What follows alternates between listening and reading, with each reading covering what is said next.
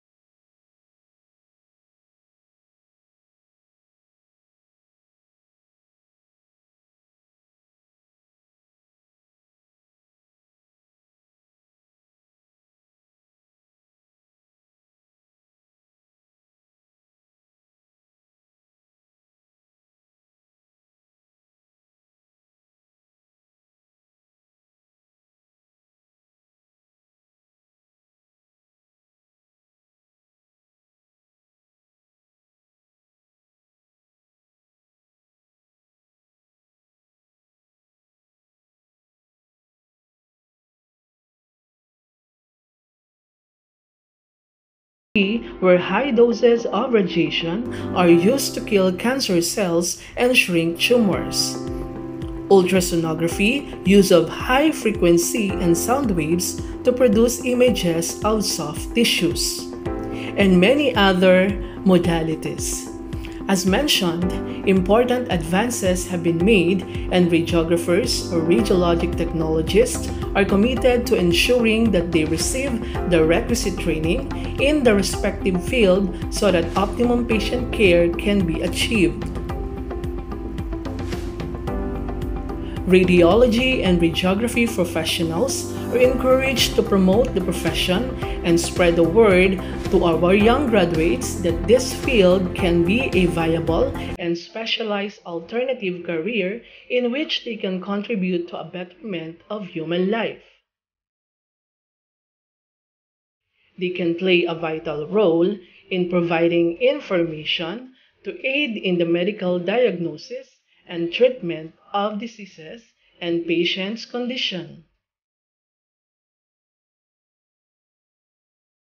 Let us reiterate that medical imaging is an integral part of our healthcare team, and as we celebrate today and beyond, let us show our appreciation for the imaging fraternity and the valuable contribution they are making to safe patient care and improving understanding of the role and purpose radiography and radiology play in the healthcare continuum.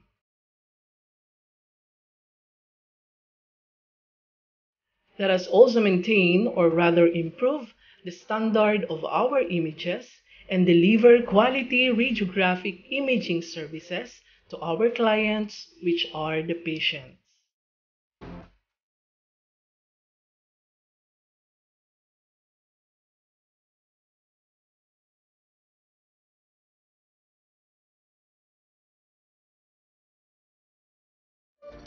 Don't forget to subscribe my YouTube channel and click the notification bell for more Radclusive videos. Thank you!